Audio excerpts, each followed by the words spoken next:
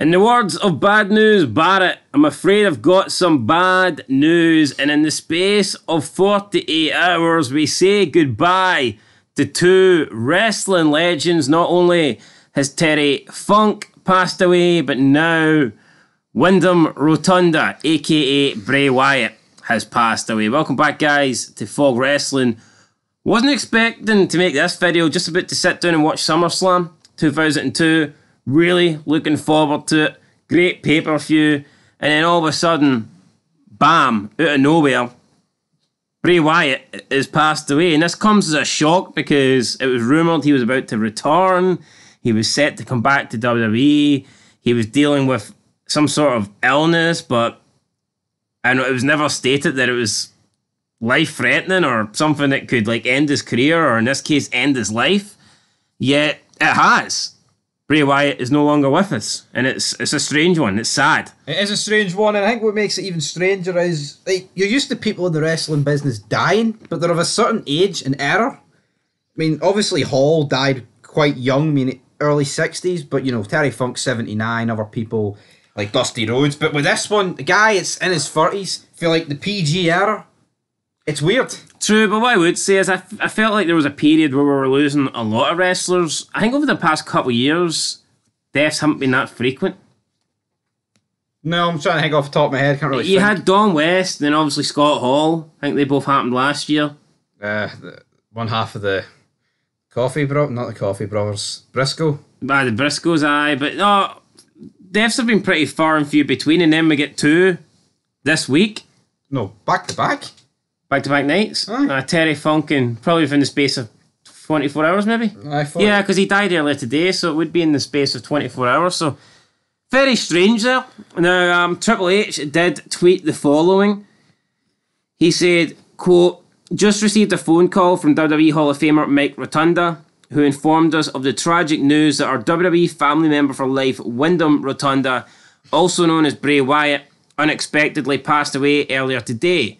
Our thoughts are with his family, and we ask that everyone respect their privacy at this time. End of quote. Now, we don't know what the illness was.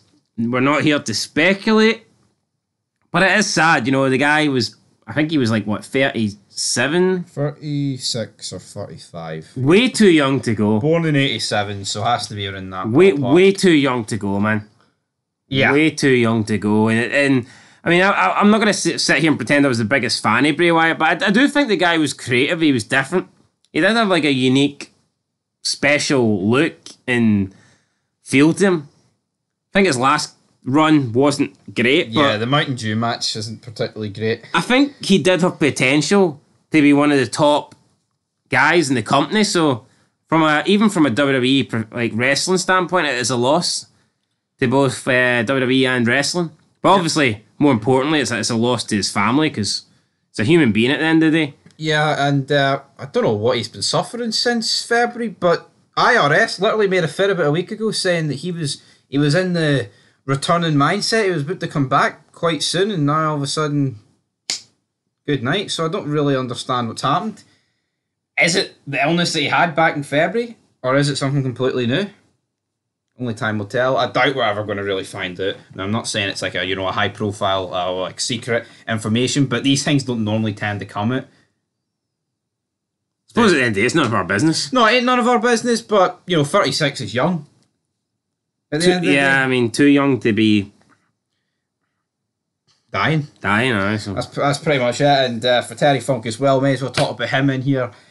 Terry Funk, 79, probably, no, six, ah, yeah, 79, probably wrestling on even to the day of his death, taking pile drivers. Because that's what Terry, maybe Yeah. these two will have a match. Yeah, I mean, I, I'm not convinced Terry Funk wouldn't have had one more, to be fair, if he could have lasted a few more years, but uh, we ain't going to get that. Anyway, sucks. Never nice to see anybody die, especially seeing people that you grew up watching, or in Bray Wyatt's case, people that we've seen watch or wrestle over the past like 10 years or whatever. So that sucks. So yeah, not good, guys. Um, not a lot more we can say apart from R.I.P. Rest in peace, Bray Wyatt, and uh, condolences to the Wyatt family. Rest in peace, Terry Funk. Condolences to the Funk family. And uh, condolences to the wrestling world because this is two big losses back to back. Anyway, guys, we'll catch you in the next video. Till next time, peace.